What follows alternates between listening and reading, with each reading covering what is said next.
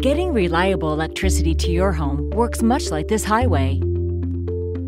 The highway is built to have enough lanes to serve its customers during the time of maximum use, typically rush hour.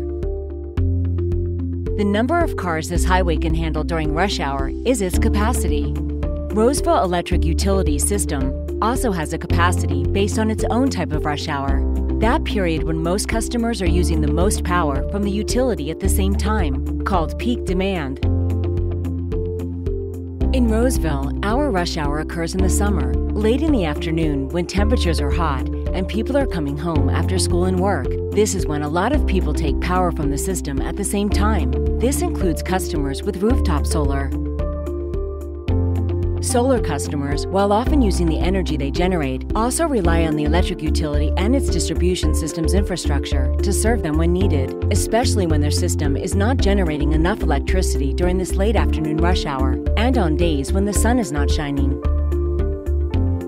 The total cost of building and maintaining a highway is based on what size it needs to be to handle that rush hour traffic. This is the same for our electric utility system.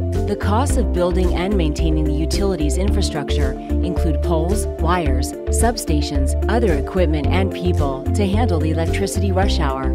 Our system must be built to serve the maximum number of customers using the system during peak demand. With our current rate structure, we're moving toward having all customers pay their fair share of Roseville Electric Utilities distribution system infrastructure costs. These costs are fixed, meaning they don't change based on how much power you use each month. You'll see this listed on your bill as the basic service charge. You and your neighbors pay the same amount.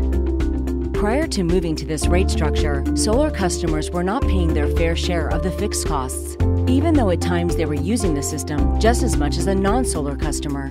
While many electric utilities, including Roseville, have been able to handle this cost imbalance created with rooftop solar, the number of solar customers has greatly increased.